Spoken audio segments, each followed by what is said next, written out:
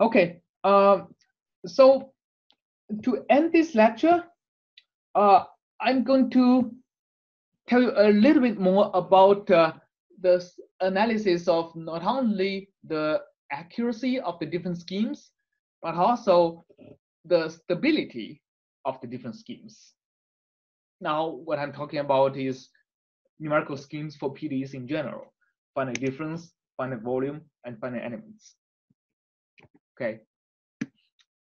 And no matter which method you use, it's generally uh, difficult to analyze the stability for arbitrary domains, arbitrary discretization, and arbitrary differential equations.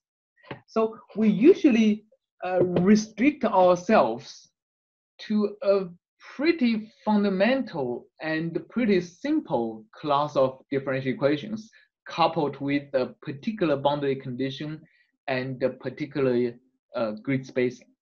So this is, we usually restrict ourselves to linear PDEs, okay, and uh, uh, uniform grid spacing.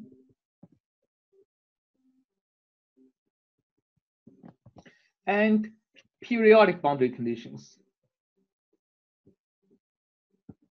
BC stands for boundary conditions. So if you have all of these three criterion satisfied,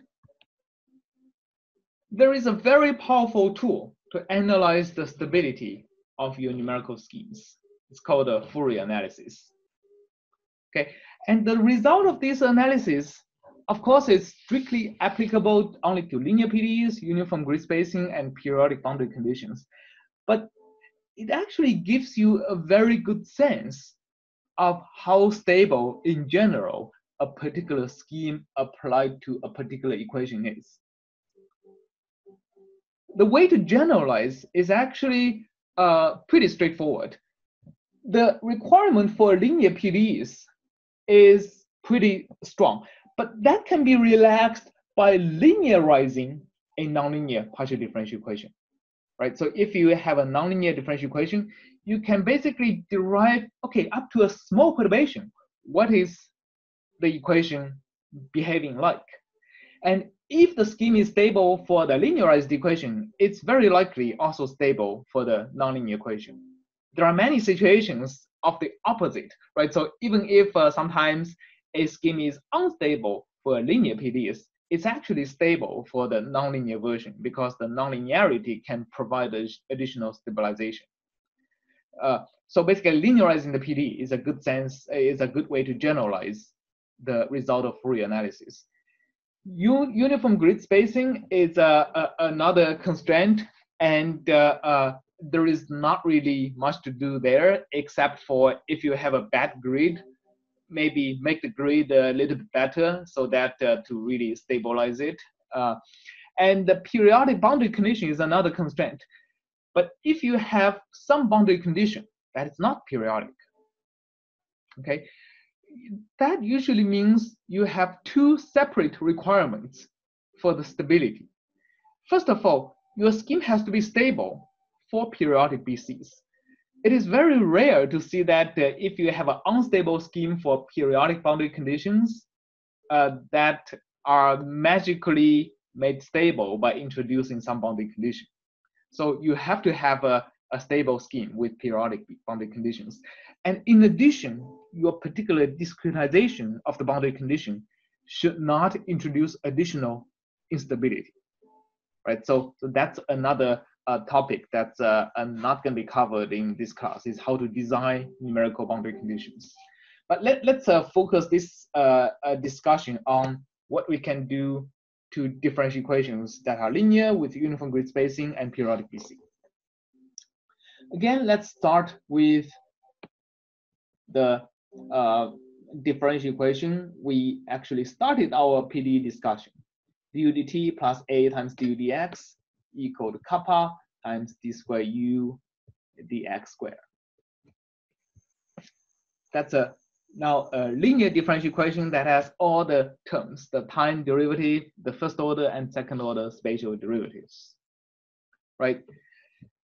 and uh, let's say uh, to make the periodic analysis a little bit uh, uh, easier, let's say x is in the domain of 0 to 2 pi. Course, if you have a different domain, you just have to stretch uh, the different uh, components of the Fourier analysis, the sine and cosine terms to accommodate the different periodicity.